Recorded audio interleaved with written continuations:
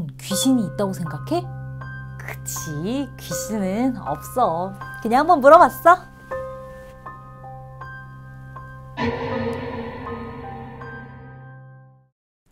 구독, 좋아요.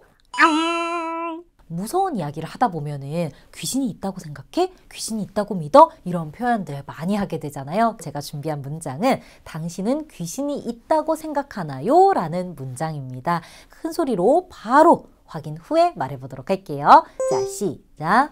你认为有鬼吗? 어, 간단하죠. 자, 认为라는 것은 뭐뭐라고 생각하다라는 뜻입니다. 여는 있다. 꾀는 귀신이죠.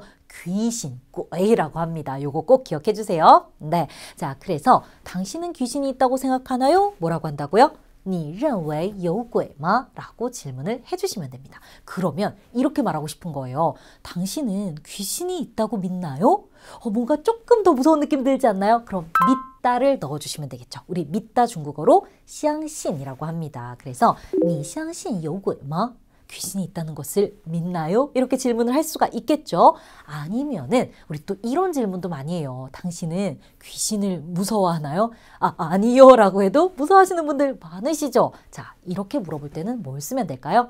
무서워하다, 파파를 쓰셔도 되고 파만 쓰셔도 됩니다. 파만 한번 써볼게요. 당신은 귀신을 무서워하나요? 시작.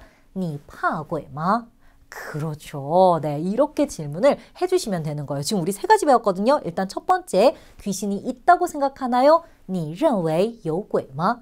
귀신이 있다는 것을 믿나요? 你相信有鬼吗? 당신은 귀신을 무서워하나요? 你怕鬼吗? 간단한 문장이지만 잊지 않도록 꼭 기억을 해주시고요. 무서운 얘기할 때 꼭 한번 써보세요, 여러분.